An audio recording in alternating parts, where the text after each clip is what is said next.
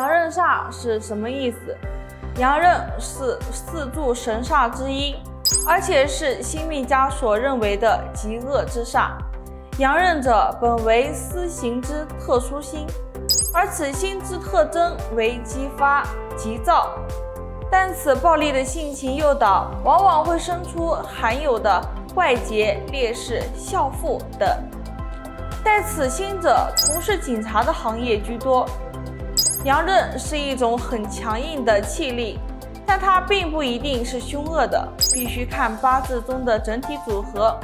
阳刃只是八字中的一小部分，并不能完全的代表人的命运好坏。